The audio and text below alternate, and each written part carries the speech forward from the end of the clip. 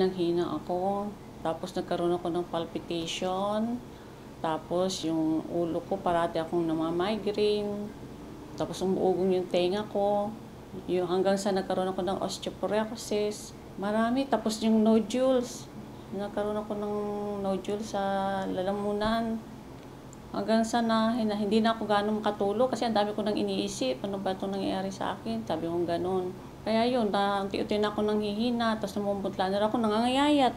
Ito, sumobra na ang payat ko. To- Nakapagpa-doktor ako noong 2016. Kasi bigla nga tumaas yung sugar ko. Tapos nung na-nervous na ako noon, hindi ko na alam kung ano na ang gagawin ko. Nangihina na rin kasi ako noon. Tapos inanuhan din ako ng insulin. Nakapag-insulin din ako ng almost one year. From January to March. Ngayon pag nag-rejuvenate ako ngayon, yun, putol ko na naman yung insulin ko. Mga 3 days, nakaramdam na ako ng unti-unting ginhawa. Yung lahat ng mga pain sa katawan ko, nawawala na. Lumakas ako uli.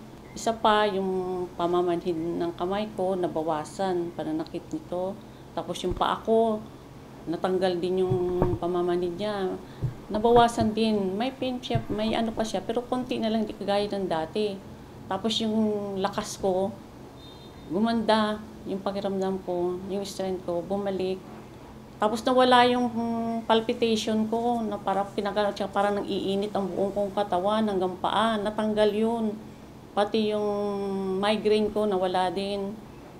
Yung ugong ng tenga ko, nawala rin. Meron akong nararamdaman ng kunting-kunti na lang, pero talagang nawala siya.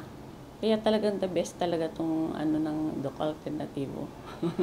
Pamamaraan nila sa paggagamot. So, wala talagang makakatumbas ng ibang mga pang mga herbal na ano.